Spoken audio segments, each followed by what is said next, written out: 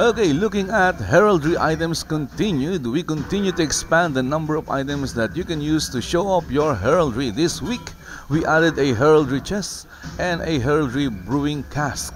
What? Heraldry chest? Oh, okay. Players continue to post pics of their heraldry in the thread. They started a few weeks ago and the results continue to be amazing. Here are some of the latest player pictures.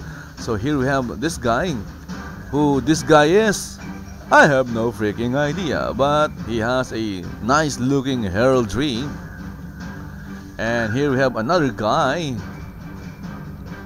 with a nice looking heraldry, double dragon. And of course, here we have another guy with a nice heraldry.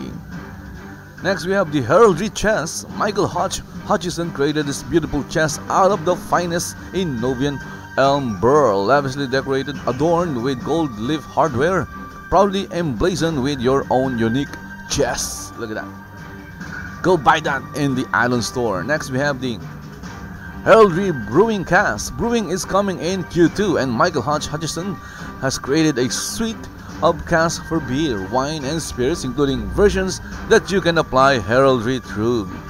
Nice. Next, we have the Heraldry beer cask. That looks nice.